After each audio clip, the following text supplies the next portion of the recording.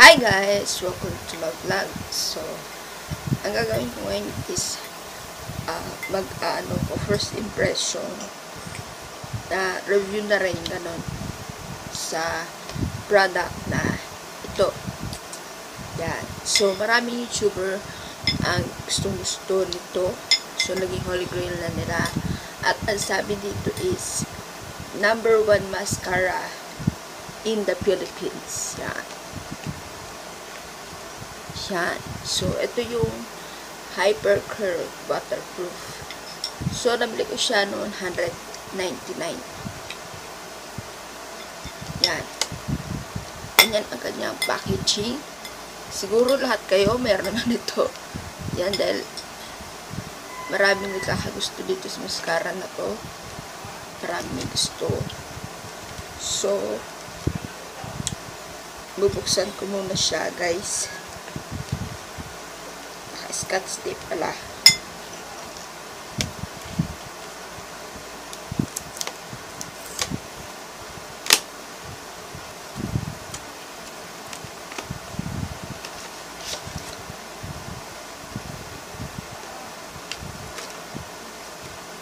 Yan, tignan nga natin yung kanyang ano.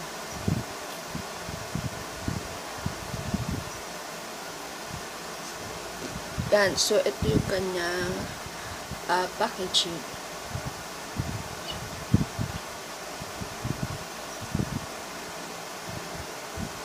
Yan.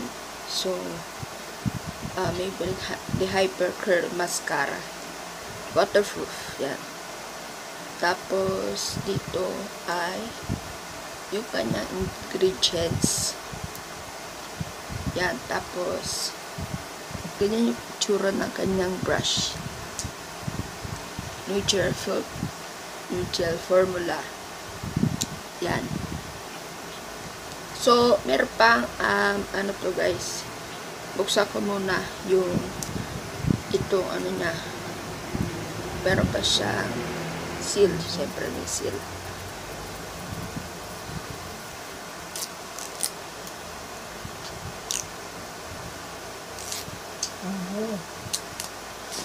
Kanyang sulat is, mga ingredients is, nandito sa plastic. Ito is, ganyan yung kanyang packaging. No? Ang cute lang, itong pink niya, ang cute lang, ano na. So, nandito pala yung kanyang, ano. Yan. So, tignan natin ang wand niya. Lang.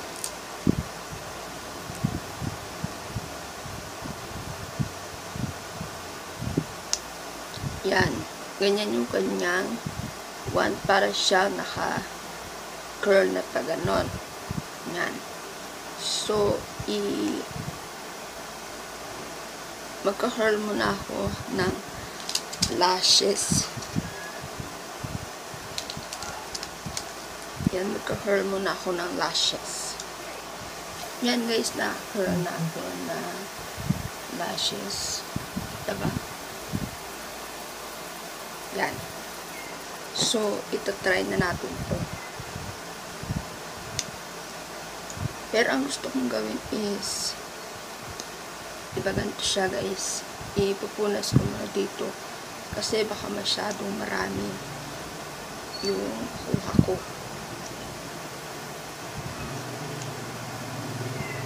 Yan.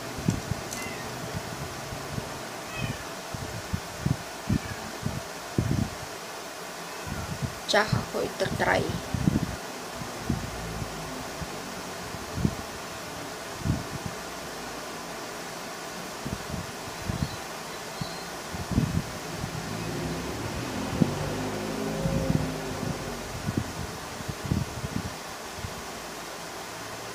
Ang ganda nga niya.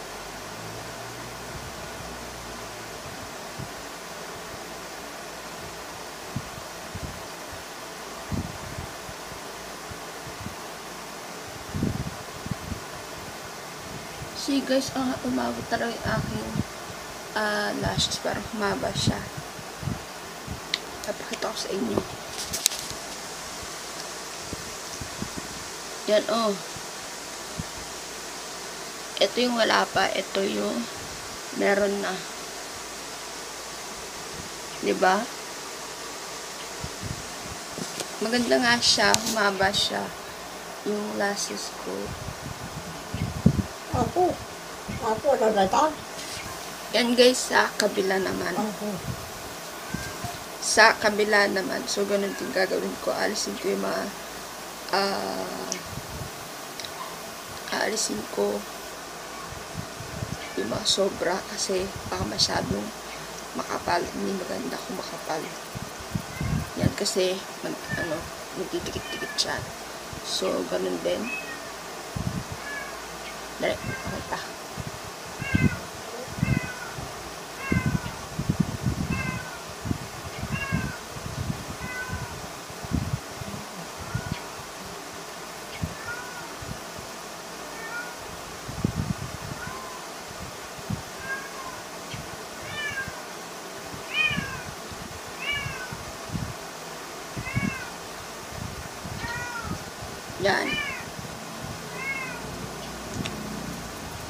Yan guys. Oh. Ganito siya. Ano siya? ah for lengthening. Medyo nagdikit lang na onti dito yung aking lashes. Yan. Kaya para marami, marami, marami nagkahalusto sa lashes to. Maraming ah gustong bumili. Yan oh. Side view. Oh, di ba? Maba siya. Yung lashes ko guys is ah mahaba na siya. Mahaba siya yung lashes ko.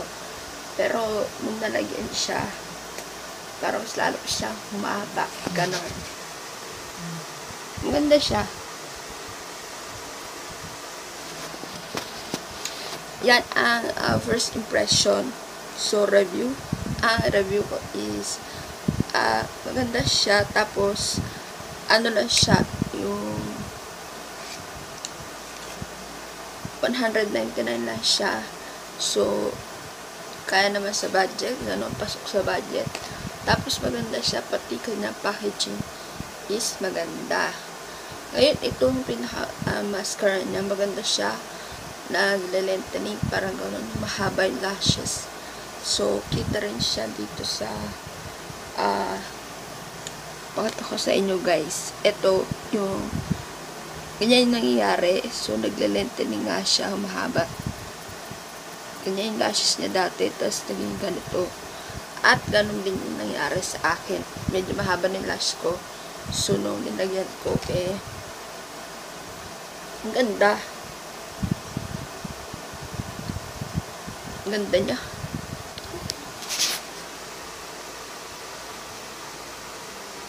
Oh. Maganda siya, guys. Yan. Yan ang masasabi ko. Maganda yung product na to. Pero, nakita niyo naman yung ginawa ko. Pagka, ah, angat nito. So, inalis ko muna yung excess. Alisin nyo para hindi masyadong maraming product yung matira sa mascara.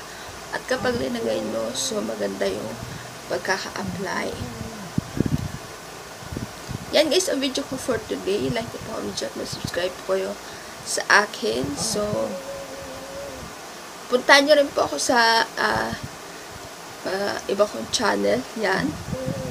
Mag-subscribe din po kayo. Bye guys!